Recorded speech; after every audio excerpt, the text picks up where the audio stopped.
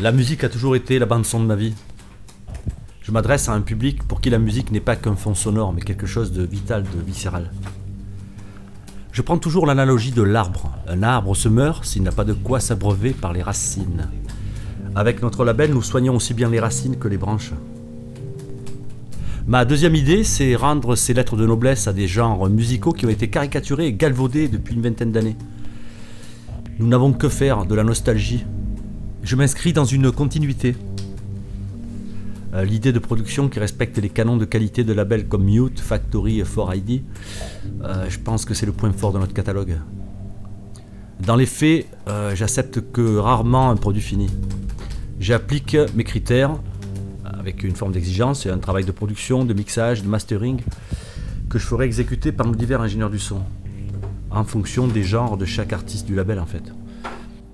Nous soignons aussi bien l'image. L'image a autant d'importance que le son pour nous.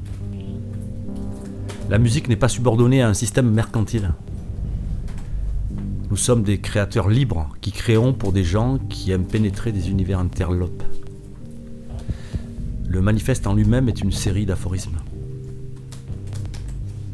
De nos jours, de nombreux labels produisent de la musique afin de vendre des vêtements, des voitures ou des parfums.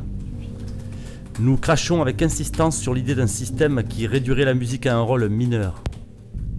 La musique est une forme d'art et son indépendance est essentielle pour pouvoir offrir des artistes authentiques qui opèrent hors de portée de tout formatage actuel et des chaînes de production sclérosées.